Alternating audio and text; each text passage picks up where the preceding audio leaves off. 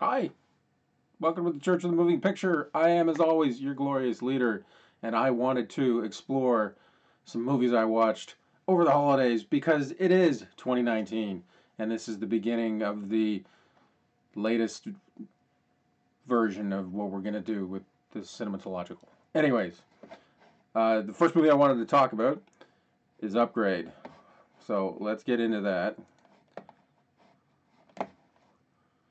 Upgrade is by the filmmaker Leigh Whannell, who directed, I think he directed some of the Saw movies. He definitely wrote some of the, the, the, the Saw movies. And this movie has gun arms, and it's essentially a modern retelling or modern take on the, the, the essential concept of Robocop, of man and machine melding to become something, something more and also something less. And it's about a, a character that is, it becomes a uh, paraplegic who's got a chip put in his neck, named Stem, and Stem takes over his body and turns him into a ninja assassin murder machine. And I watched this with my stepson. We were thrilled watching this movie.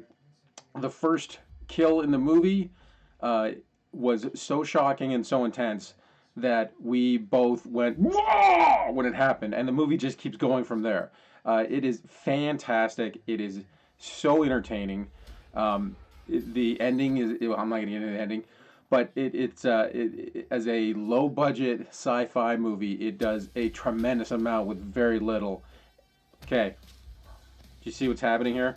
The the chore- the fight choreography and the performances in this movie are outstanding because the main character is face acting in opposition to his body acting, and it's all performance. It's great. I cannot recommend this movie enough. It's outstanding. It's on VOD right now. It will be on probably on Netflix at some point, but go watch Upgrade. It, you won't regret it. It's hyper violent. It's darkly funny. Gun arm, gun arm. Why do you need anything more than gun arm to go see this movie? It, it does actually some stuff about autonomous cars, which is interesting, and it deals with conspiracy. But for real, this is one of the best action movies I've seen in a couple years. So this is for me was uh, just a fantastic way to spend the holidays. I don't know what that says about me, but what are you gonna do? Uh, I, I'm actually like want to watch the movie again, watching the trailer. So this is fantastic. Go check it out. Thanks.